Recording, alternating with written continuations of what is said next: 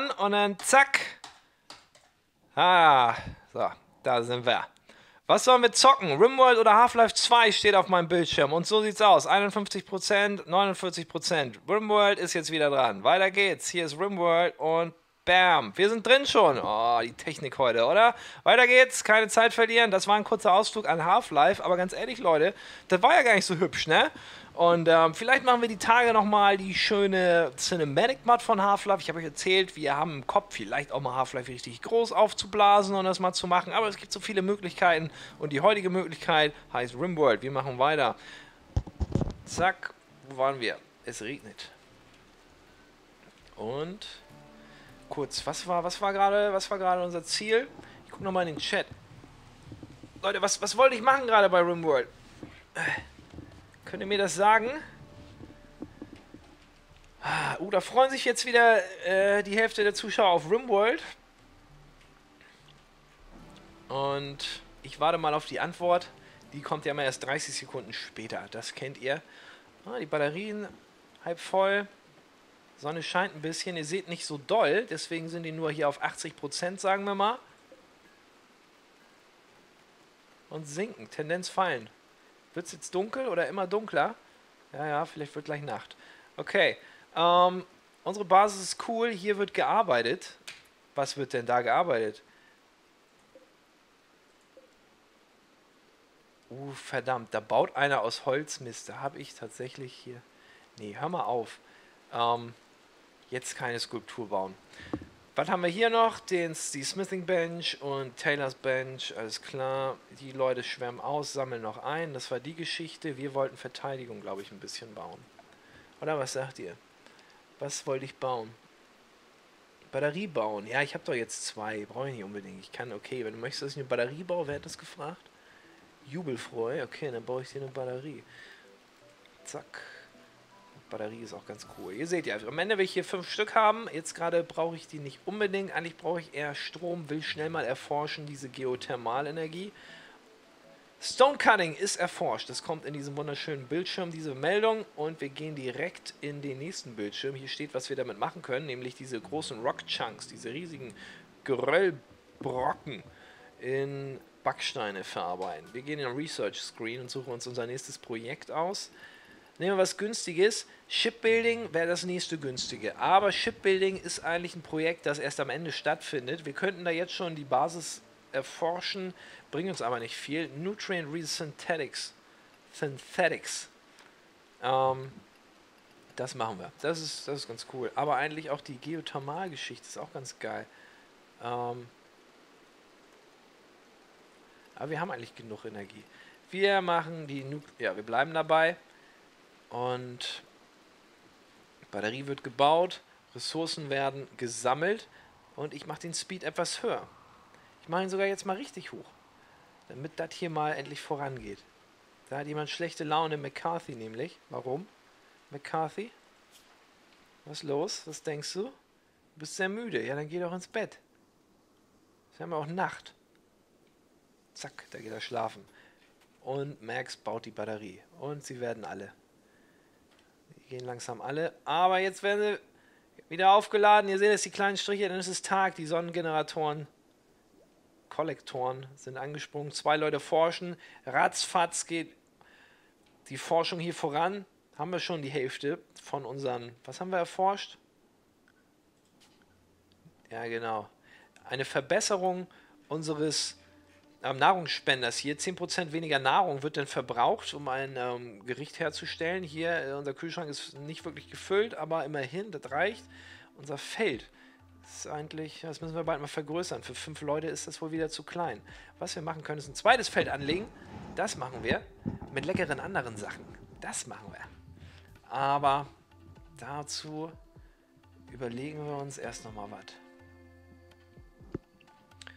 Hier wird geforscht, Batterien wachsen. Mhm. Oh ja, das hier ist ein Problem, Leute. Das ist voll. Bauen erstmal diese Bäume hier aus dem Lager weg. Den schneiden wir. Und dann haben wir wieder ein bisschen mehr Platz, aber so oder so. Ich mache hier nochmal den Platz ein bisschen größer. Was war das? Pirates! They are attacking immediately. Also, die greifen sofort an. Das heißt für mich, auf Pause, gucken, ob alle Leute da sind. Eins, zwei, drei, vier, alle zu Hause, bis auf einer. Wo ist Nummer vier? Nummer vier, Chimp, ist auf dem Weg nach Hause, verfolgt von diesen... Oh shit. Oh shit, oh shit, oh shit, oh shit. Oh shit, oh shit. Wir gucken. Ähm, was sind das für Leute? Das sind drei, wenn ich richtig sehe. Drei Piraten greifen sofort an. Tomoko, der Typ. Frag Grenades. Oh shit, die sind natürlich gefährlich. Ist krass ausgerüstet mit dieser Armor-Weste, also mit dieser gepanzerten Weste. Hat ein Essen dabei. Wir haben hier noch Bell. Kurt. Oh, das. Das sind sogar vier Leute. Das sind zwei auf einem Haufen hier. Seht ihr das? Ich drück mal. Kann ich den erwischen? Ben Cook kommt mit Pistole. Bell Kurt mit Pump Shotgun. Und Tail mit einem Messer. Okay, wir haben zwei Waffen. Pistole, Shotgun und hier diese Granaten. Das ist, ähm Unsere einzige Verteidigung steht hier. Das müssen wir gleich ausbauen. Ich drücke auf Start. Er läuft weiter. Und wir müssen langsam mal in Position gehen, denke ich. Pause drücken, in Position. Max. Raus aus dem Bett. Max versteckt sich hier. Whitney. Hat nur ein Messer, kann weiter pennen. Aber Hey House, unser, unser, unser, unser cooler Typ. Den haben wir ja gerade erst ausgerüstet hier mit, ähm, falls ihr euch erinnert, der gepanzerten Weste und draften ihn und stellen ihn hier hin. Während McCarthy mit seiner. Ist das eine Shotgun? Ne, ist das auch ein Survival Rifle. Wir haben zwei Survival Rifles. Ah, ist ja auch nicht schlecht. Haben wir hier noch was? Oh, noch eine Pistole. Okay. Whitney schnappt sich jetzt. Wie viel Schussfähigkeit hat sie? Null. Okay, Whitney wird nicht die Schusswaffe nehmen. Die bleibt bei der Nahkampfwaffe. McCarthy bleibt bei dem Rifle und versteckt sich. Wenn wir ihn mal draften. Ja, hier.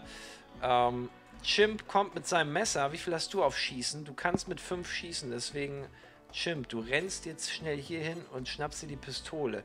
Aber das sagen wir dir erst gleich, weil du trägst doch gerade was, oder? Nee, der trägt gerade nichts. Deswegen schicke ich ihn direkt zu der Pistole. Hinter ihm die Leute. Jetzt wird spannend. Achtung, Leute. Action incoming. Okay, Chimp schnappt sich das Ding.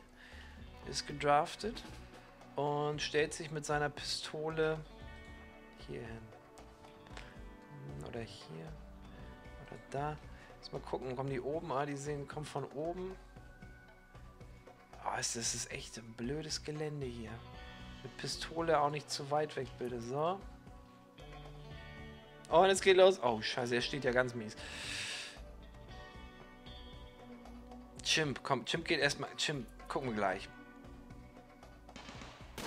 Und es geht los. Der Kampf hat begonnen. Als erstes müssen wir uns konzentrieren auf den Typ mit den Granaten. Frag Grenades. Da ist er. Wir können das Target forcieren. Das machen wir. Alle auf den Typen mit den Granaten. Der wird gleich eine werfen. Oh, wow, wow, wow. Chimp. Ähm, Selbst McCarthy soll auf den Typen mit... Ja, sehr gut, wir haben ihn! ist er tot? Der ist tot.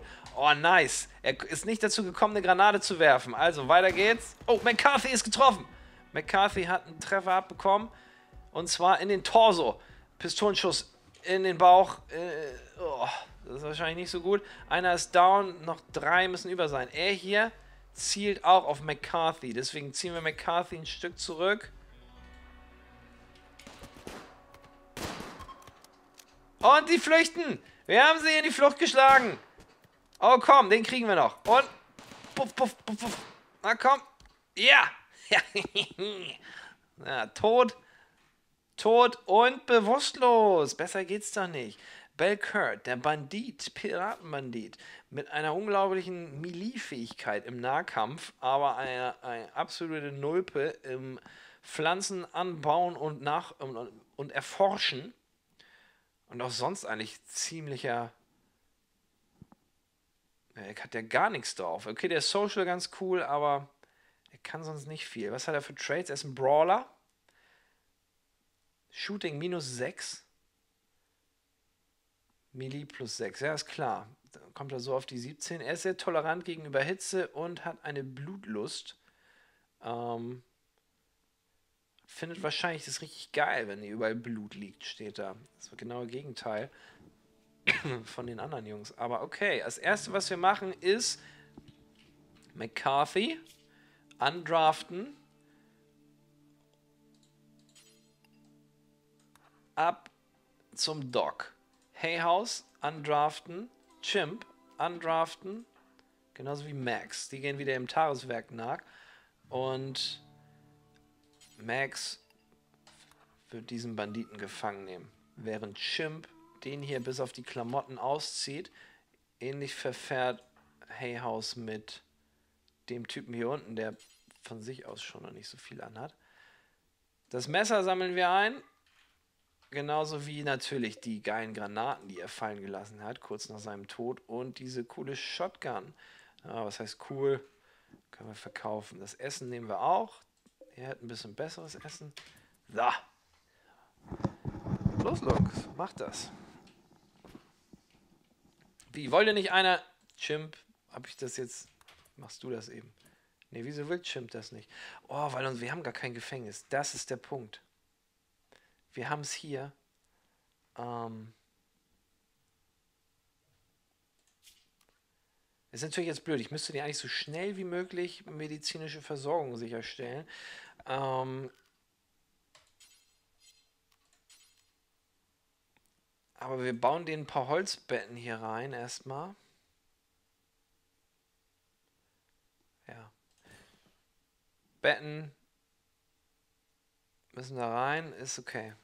Bau mal schnell ein Bett. Wer macht das? Kann das einer von euch übernehmen hier, Leute? Ja. Chimp holt schon das Holz. Chimp baut das Ding und dann holen wir den schon rein. Der muss jetzt noch eine Minute da in seinem Blut liegen und warten, bis sein Gefängnis fertig eingerichtet ist.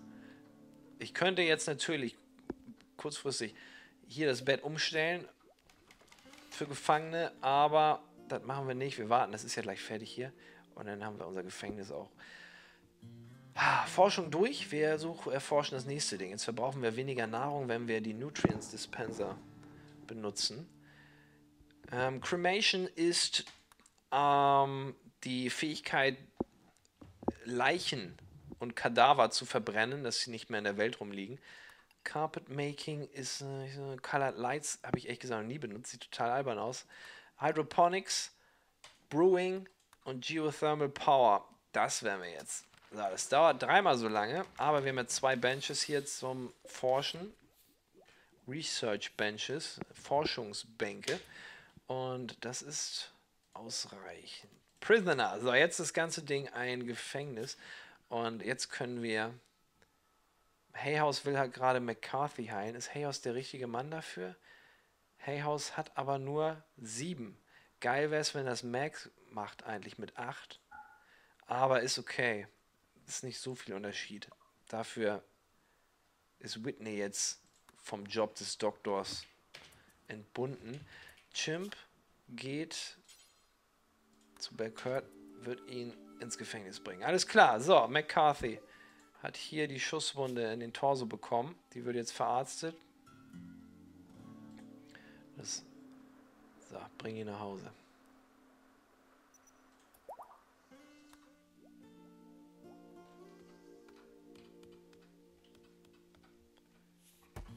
Im Gefängnis, alles gut. Ich mach mal kurz, den angucken bei Kurt. Mm, friendly Chat. 83. Oh, das wird nicht einfach, den zu rekrutieren. Wir probieren es trotzdem. Uiuiuiui. Ui, ui. Er, er hat einen Gewehrschuss von, unserem, von unserer Selbstschussanlage in sein Rückgrat bekommen. Ähm, also tatsächlich in die Wirbelsäule, Spine. Uh, Left Arm, der linke Arm, Schusswunden, Torso, nicht allzu schlimm, noch orange, aber der linke Arm, oh, okay, er wird gerade verarztet. Wir verschwenden da jetzt aber keine Medizin für. Wir haben nämlich nur noch fünf. Was macht hier unser 90 Prozent? Ey, bald haben wir hier, bin ich mal gespannt.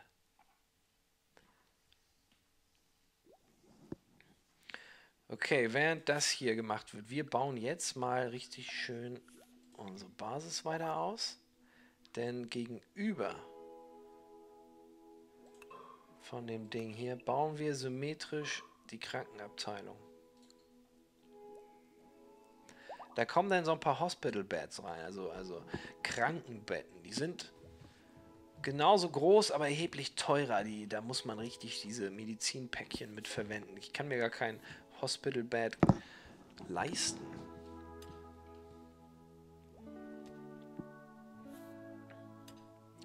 Okay. Das sieht gut aus. Beckhurt ist versorgt, rennt jetzt hier ein bisschen rum. Wir schauen mal, was er gerade denkt. Er ist hungrig und gefangen. Das, das nervt ihn ein bisschen. Ähm, am, am Gefangensein, da äh, können wir nichts dran ändern in diesem Moment. Das hat er selbst in der Hand. Wenn er gute Führung beweist und vielleicht mal unserem Team beitreten möchte, dann kann er da raus, vorher nicht. Ähm, Amputation. Stefan Daniel möchte unbedingt Amputation hier im Chat. Verkauf ihn als Sklaven. Geht das?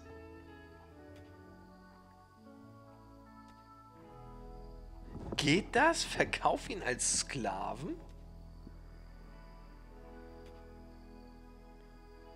Johnny Cage, schreib das doch nochmal bitte rein. Ich lade mal neu. Ich glaube, mein Chat ist schon wieder eingefroren. Das ist, glaube ich, eine ganz alte Nachricht hier für mich, oder?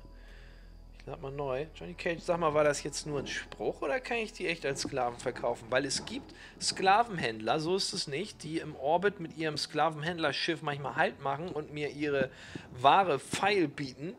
Genauer gesagt. Jo, kannst du? Es gibt Sklavenhändlerschiffe. Ja, genau, das erkläre ich gerade. Oh, da hat einer, ich mach mal kurz auf Pause, da hat einer gerade sehr viel geschrieben. Ich scroll nochmal hoch. Da ist wirklich, was war das?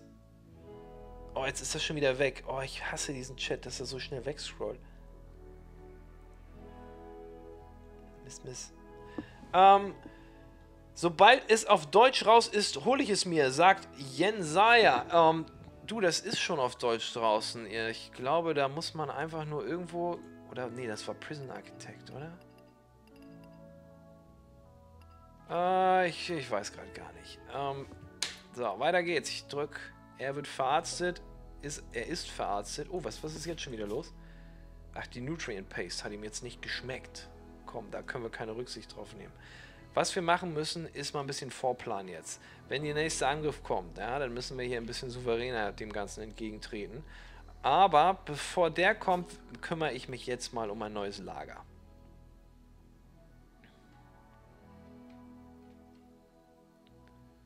Und wo tun wir das hin? Wenn wir mal kurz überlegen, normalerweise habe ich meine Lager immer in die Basis gebaut. Recht nah am Anfang habe ich einen sehr großen Raum gebaut. Der muss auch abgestützt werden, weil der sonst zusammenfällt. So große Räume im Berg geht nicht.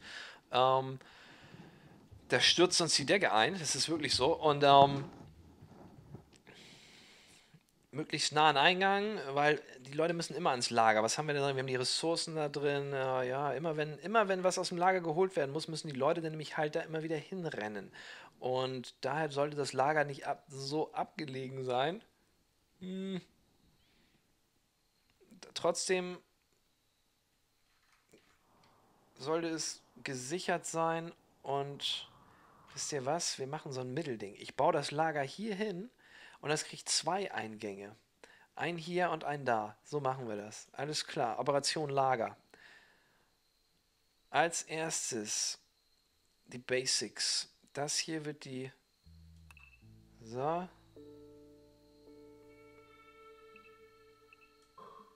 Müssen mal gucken. Also das Lager wird jetzt die Form, ich muss ein bisschen planen. Ich habe euch das vorhin kurz gesagt, wie ich das Lager bauen werde, nämlich genau in der Form. Und das sind sieben. Zwei, vier, sechs. Sind es wirklich sieben? Drei, ja, das sind sieben, wenn ich mich jetzt nicht verzähle, in der ähm, Breite. Wo, wo, was wollte ich? Ich war genau. Zack, mein sieben. Okay. Und. Mhm, mhm. Einmal kurz nachbauen. Ja, gib mir die Sekunde. Danach so. So. So. Dann gucke ich nochmal rein hier. Danach zwei nach hoch und dann einer links. Das sieht dann so aus.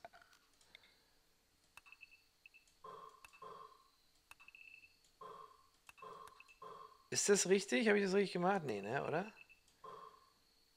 2, 3, 4, 5, 6, 7. Kommt das ungefähr hin? Hm? Hm? Hm? Nee, das kommt überhaupt nicht hin. Was habe ich da falsch gemacht? Das, oh Mann. Hm, hm, hm. Äh, oh Mann, ist das kompliziert. Also, der nach links der geht dann nach oben. So sieht das aus. Den weg. Ist es jetzt richtig? Zack, zack, zack. Fast.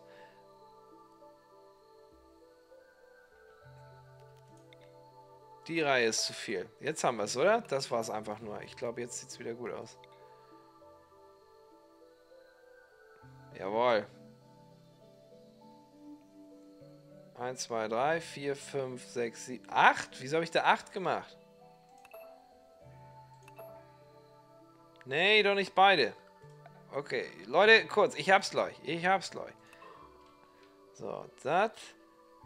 Und jetzt müssen wir das einfach nur symmetrisch weiterführen.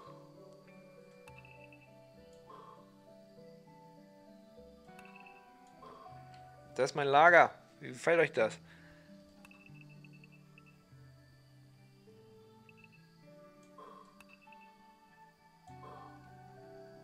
So. Und vielleicht baue ich dann hier noch eine Tür rein oder hier, dass sie von da reinkommen. Uh, ich lasse es aber erstmal. Ich fühle mich ein bisschen sicherer, wenn meine Basis wirklich nur durch einen Eingang betreten werden kann. Das hier würde zusätzlich... Hm, nach, hm, ist okay. Wir machen das so. Das muss ausgehoben werden, genau wie das. Es dauert jetzt eine Weile. Es ist Nacht, die schlafen eh. Also, überspringen wir die Zeit ein bisschen. Wir spulen vor, die Zeit läuft. Es ist der frühe Morgen, die Sonne geht auf. Energie wird generiert. Nicht allzu viel. Ihr habt gesehen, ich bin gerade durch die Nacht gekommen, bevor meine Batterie alle war. Das ist für mich das Zeichen, jetzt vielleicht auch parallel nochmal schnell einen Solargenerator zu bauen. Und während die Jungs hier fleißig arbeiten, wir den zuschauen, haben die schon alles geholt? Ja, sieht so aus. Guck ich mal rein hier. In den Chat. Quizzy sagt Dungeon Keeper. Ja, ganz genau. Das hier ist der Dungeon Keeper Part. Deswegen gefällt mir das auch so. Und deswegen grabe ich mich so gerne in den Berg. Mein Weed ist fertig unten. Ja, gucken wir mal. Cerigium. Fully grown in 0,2 Tagen. Das braucht noch einen halben Tag hier. Das hier noch 0,1 Tage. Warten wir noch ein bisschen. Das ist nicht ganz fertig. Während die hier kloppen, kloppen, kloppen. Was sagt der Chat? Masseneinsturz. Ähm, ja, stimmt. Wir müssen stützen. Richtig, wir müssen, wir können das nicht alles auf einmal machen. Wie stützen wir denn? Ich würde sagen, wir bauen gar keine Stützen ein. Wir machen das natürlich, indem wir ganz einfach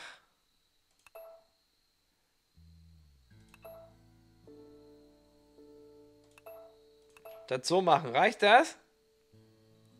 Ist das eine gute Stütze? Was haltet ihr davon? Ist sie symmetrisch? Ist sie. Nee, Quatsch, doch, 5. Ist sie. Das reicht als Stützen. So bricht das hoffentlich nicht ein, oder? Der Gefangene sifft die ganze Bude voll. Oh ja, was soll denn das? Hör mal auf zu bluten. Was ist denn das für eine Schweinerei? Wer verarztet den denn? Niemand. Was soll denn das? Der ist doch voll am Bluten. Da muss doch mal einer ran. Was sind mit den Ärzten hier? Was macht Max und Hayhouse? Die beiden sollen eigentlich... Hey, Hayhouse, komm schon. Nicht? Ah, ja, alles klar. Äh, Fehler wie eben. Das hier, dieses Gefangenenbett, muss erstmal medical sein. So, jetzt funktioniert das. Und wo wir mal da gerade in diesem Raum sind, bauen wir jetzt auch nochmal schnell. Haben wir genug Kohle? 50? Nee, das wird gar nichts. Wir brauchen, wir müssen gleich uns erstmal äh, darum kümmern, wenn wir das ausgehoben haben, unser Lager zu füllen mit noch mehr Eisen. Davon haben wir, nee, Stahl. Davon haben wir nur noch 50. Das ist zu wenig. Deswegen einmal kurz vorspulen. Oder komm, ein Bett geht doch noch, damit, wenn der fertig verbunden ist, pennen kann. So, zack. Das wird gut, passt. Jetzt wird er auch verarztet. Da müsst ihr darauf achten, ja. Die werden nur verarztet, wenn sie wirklich im Medical Bed sind. Solange sie nicht bewusstlos sind. So, ja, die Basis nimmt Form an. Hier vorne die Konstruktion, das war ja eigentlich nur so eine Interimsgeschichte. Ne? Die habe ich kurz am Anfang hochgezogen, damit wir schnell loslegen können, weil ich nicht diese ganze Zeit verschwenden wollte, am Anfang erstmal in den Berg zu graben. Ich habe mich aber auch gerade mit unserer großartigen Aufnahmeladerin der Medium unterhalten, die gerne Prison Architect spielt, was ja ein äh, genetisch verwandtes Spiel ist, basiert nämlich auf der gleichen Engine. Und die spielt das ähnlich. Bevor es losgeht, bevor hier überhaupt auf Play gedrückt wird, braucht die eine Stunde, um ihr Gefängnis zu planen. Das geht mir genauso und ich denke vielen da draußen auch. Das Spiel ist einfach eins. Das möchte ruhig gespielt werden. Hier Herbal Medicine. Alter Schwede, kann man die direkt verwenden? Machen wir hier einen auf Öko und verarzten die homöopathisch.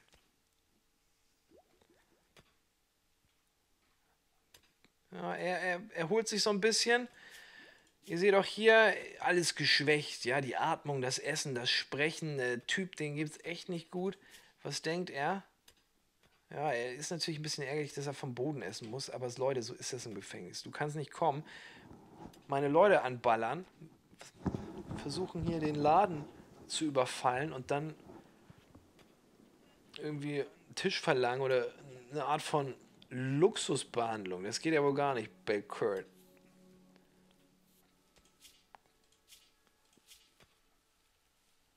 Den haben wir uns schon angeguckt. Incapable of intellectual cleaning and plant work. So.